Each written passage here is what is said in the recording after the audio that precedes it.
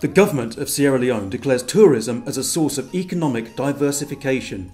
In its quest to make Sierra Leone the world's leading tourism destination, the Ministry of Tourism and Culture and the Sierra Leone Tourist Board, in partnership with the Global Economic Institute, are now engaged in the Sierra Leone tourism investment and promotion in Canada. Of the visit is to ensure that they meet with the Canadian tourist sector and promote tourism in Sierra Leone together with other investors as a way of boosting the tourist sector in Sierra Leone. Wherever it takes place in the world, there is one trusted news source you can get all the happenings, unadulterated and unfettered. AYV. AYV International brings you full coverage of the Minister and her delegation to showcase the country's beauty and the latest tourism potentials in Canada. The organizers have finally met with the tourism delegation from Sierra Leone. Uh, of course, you know, we have when it comes to nature, wildlife, when it comes to island beaches, when it comes to culture, uh, when it comes to heritage.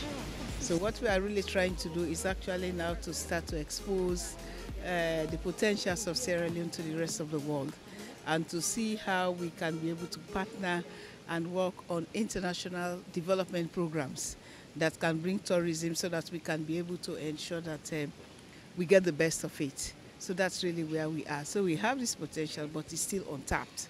So that is why we are here with our Canadian friends and of course the Canadian government so that we can start to talk about different aspects of tourism. From a number of publications, whether it's Elle or Lonely Planet or Rough Guides, Sierra Leone has been named as one of the top new destinations, basically focused upon uh, its beautiful, pristine nature, its beaches, its tremendous wildlife, and its unique Selonian culture. It's it's really you know connecting business, academia, government uh, bringing those sectors together to help make that happen.